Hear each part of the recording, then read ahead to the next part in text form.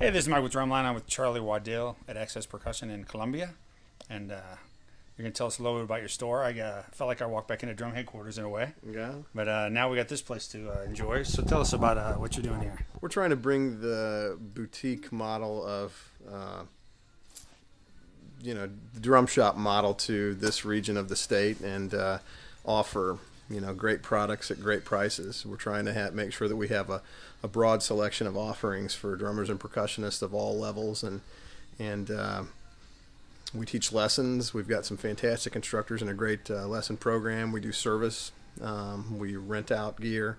Um, you know, just trying to be a full service uh, drum shop.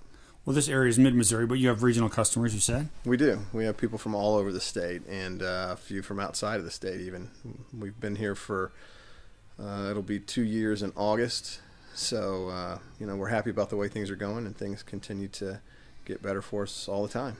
Well, drums are a brotherhood, and you, when you come into an environment like this, you can tell that, you know, this is the kind of store that is the hang store, Yeah, not just like the product store. Yeah, yeah. One of the things that one of the goals that we're trying to do is, um, you know, Jim Uding at Drum Headquarters had mentioned to me at one point that one of his goals was to to make what they had there kind of the town hall for drummers and percussionists, and that's we're trying to carry on that same tradition and uh, hopefully sort of pick up where where Jim and Rob left off, where Jim left off, and um, you know carry on in that in that vein and really offer something different, something specific for drummers and percussionists. Not, you know, we don't want to be the kind of store that dabbles in that or anything anything else. I've been asked like if we would carry guitars and stuff like that, and you know the answer is no because I don't know anything about guitars. So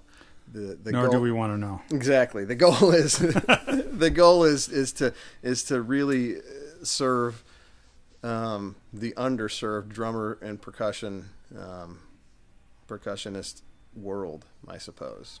So Okay, well, you're doing a fantastic job, and we're working hard at beautiful store. Thank you. It's uh, it's it's fun to walk into a place where yeah they got a cool drum shop and uh, go check it out, and then you walk in here and you're like yeah you're right it is cool. Yeah. So Yeah, well, like I said, we're really we're we're working very hard at it. We're still, you know, young and in our I would say in our infancy, so to speak. But uh, we're trying to to to do it what we feel is the right way, and and uh, not really reinventing the wheel, but but just bringing a different business model to this area. what is your uh, what is your background uh, or how did you get into this? Pretty uh, varied. okay. Uh, you know, the, I was a gig. I'm a gigging player, and Okay. and uh, I was very dissatisfied with uh, the offerings that I could find locally and regionally.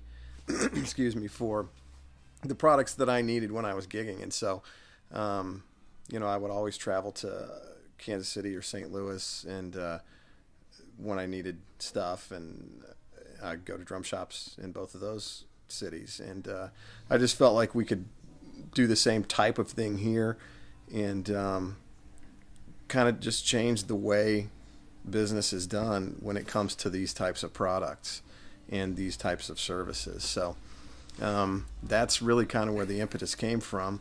But as far as my background, it's extremely varied. I've, I've you know, been a firefighter paramedic. Um, I have owned, uh, I owned a construction company for a while, and um, you know, it's uh, this just made sense to me. I think. I guess I don't. I think it all comes down to the drums in the end, no matter what you end up doing. Yeah, I think you gotta so. get, get back to that. Yeah, absolutely, What you love doing. absolutely. You know, and and uh, it um it's great to be able to meet lots of different people. And um, I thought I had an idea when I was formulating this I this this concept and, and building a business plan and so forth of what my clientele base would be and it's it's really far beyond what what my imagined it would be.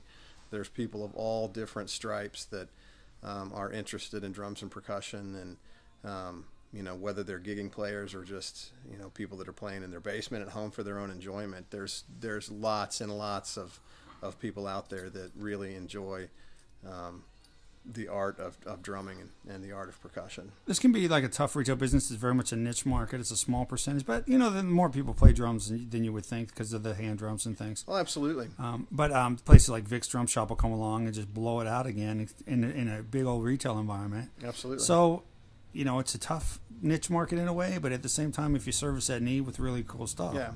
Well, I think if you do honest business with people too, I think that that, that resonates with people and they recognize that you're really here, you know, trying to do something very specific and, and you know, very worthy.